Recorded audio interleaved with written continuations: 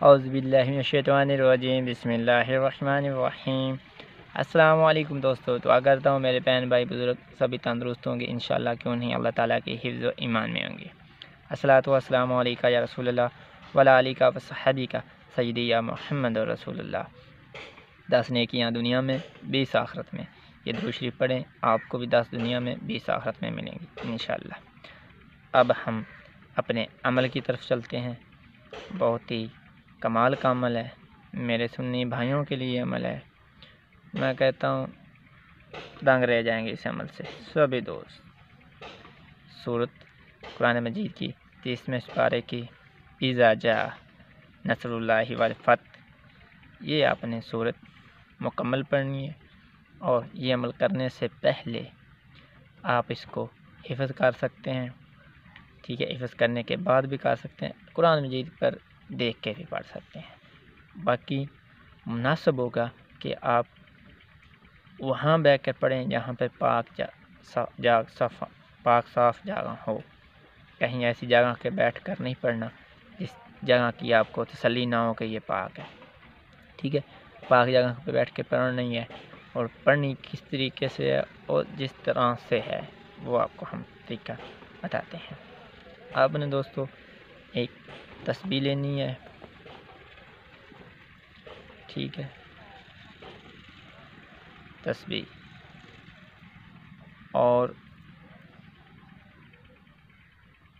तस्वीर का दोस्तों आपने सूरत पढ़नी है आपने इकतालीस मरतबा। इकतालीस मरतबा पढ़ने के बाद आपके पास कोई चीज़ होनी चाहिए। मीठी रख लें, चीनी रख लें मठियाई रख लें, जो मर्ज़ी चीज़ रख लें, जो अपने चाहने वाले को बसानी से आप खिला सकते हो। ठीक है? और ये अगर उसकी वालदा और वालद ना मानता हो साथ में, ये शादी का बहुत ही पुख्त अमल है, शादी करने वालों का, जो अपने मोहब्बत, रिश्ते पसंद से करना चाहते हैं, उनका नहीं हो रहा। ये अमल करें इन अल्लाह ताला की हमत से और अल्लाह ताला के फजल से ये कामयाब होगा। और उसकी वालदा और उसका वालद ना भी मानता हो ना, ये एक के अमल से तीनों का काम हो जाएगा।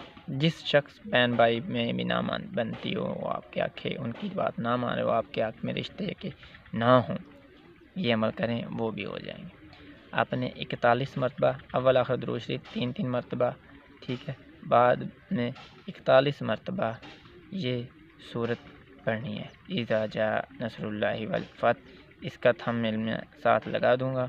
इन आपको पढ़ने की बसानी होगी, मुश्किल नहीं होगा। और बाकी मुसलमान जो है, उसको पता है कुरान मजीद की सूरत है, कहाँ पर है तो इसमें इस बारे में एंड के वर्के पे है।